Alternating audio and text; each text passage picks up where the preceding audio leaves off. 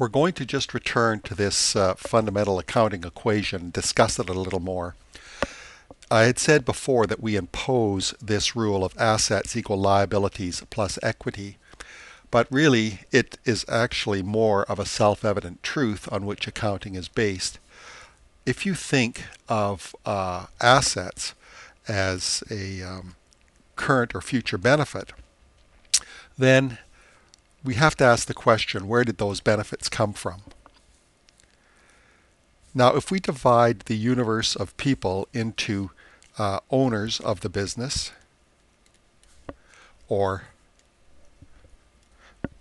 non-owners,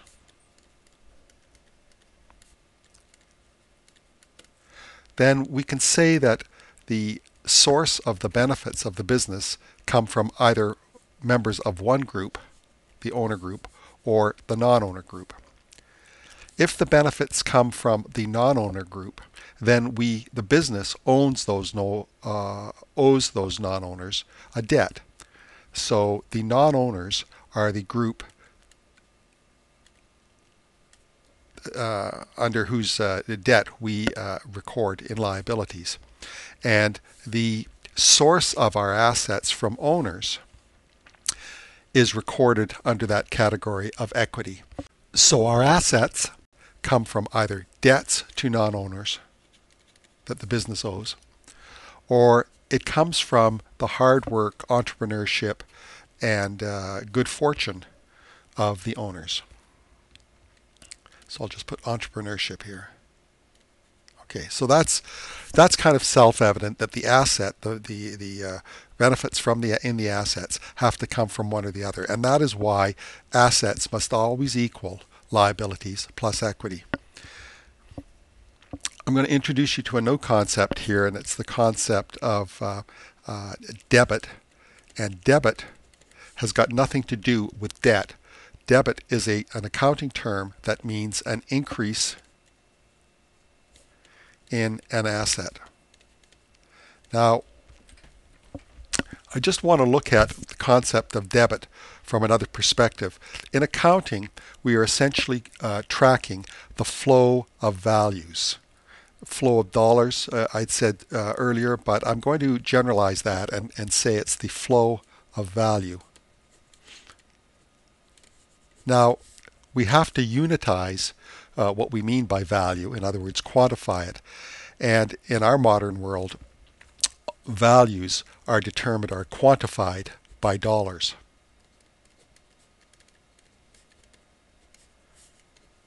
And so we come to another uh, definition or another uh, uh, characteristic of dollars, and that uh, dollars or cash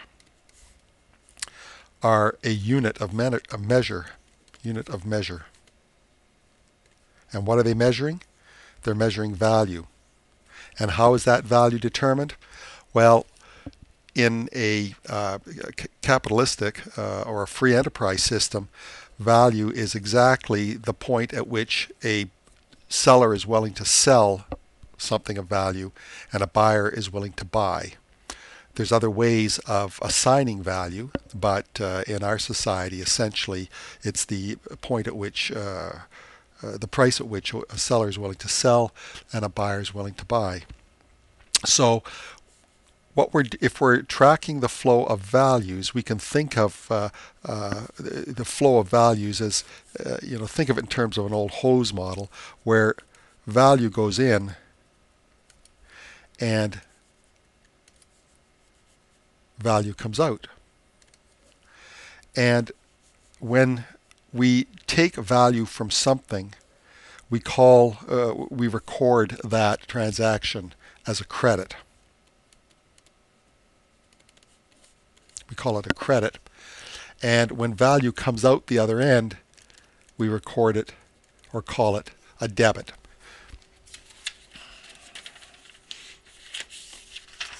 Now,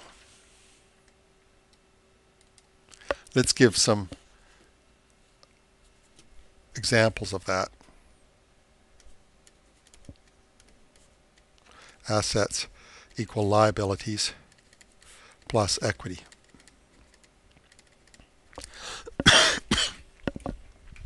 suppose we borrow $500 from the bank and put it into our cash or bank account because we're going to uh, start our business. And so we owe the bank, so we have a bank debt of $500 and we have cash of $500. So the recording of the bank debt, because that's the source of the value, would be a credit. And the where the value wound up, which was in an asset called uh, cash in the bank, would be our debit. And so when we record a, a, uh, a, transaction in accounting, what we're doing is recording a debit, a credit, the source, and the destination, a debit. And when another typical transaction would be uh, that we take uh, $100 from our cash and we pay uh, one of the DJs. And so uh, we owe a DJ some money, so there's a DJ debt here. And what we're going to do is we're going to pay them. So the the the source of the cash is the bank, so that becomes the credit uh, credit side of the transaction, and the destination of the cash is to pay off a debt, so that becomes the debit side. So if you want to get to your uh, if you want to when you start out, you define a debit as an increase in an asset. And that's a good textbook definition of it. But practically speaking, the debit is the destination uh, side of a flow of value through our books. So a debit could be a reduction in debt. So in that case, a debit could be a, a reduction in debt.